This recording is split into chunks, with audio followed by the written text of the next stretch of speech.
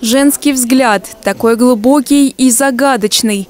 Картины женщин-художниц заметно отличаются от мужских работ.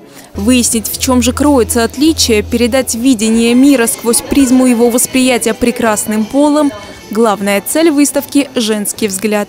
К сожалению, э, в истории не так много имен женских в живописи известных, ну, всем школьникам и просто любителям живописи, поскольку считается, что э, мужчина-художник – это вот более частое явление. И мне хотелось представить именно женский взгляд, женскую позицию, женскую технику. Она, безусловно, отличается.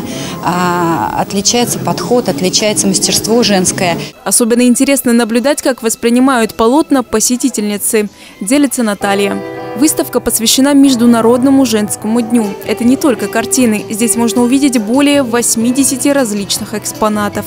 Формат, где мы представляем и бронзу, настоящую бронзу, это Моро, это Клодион э, и другие французские скульпторы, и фарфор, Мейсон, Дрезден и прочее такое, японский фарфор и даже э, династии Хан, то есть это где-то 14 век, вы можете здесь увидеть.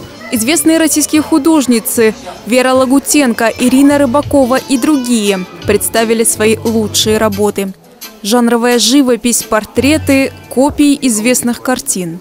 Работы художников достаточно высокого уровня, хорошие, и мне очень приятно, что наши жители сельского поселения Успенска и в настоящее время, кто приходит в Дом культуры, могут ознакомиться с этими работами, даже, скажем так, не доезжая до Тредяковки, до ЦДХ. Выставка в культурно-досуговом центре Успенская получилась весенней, живой и удивительно гармоничной.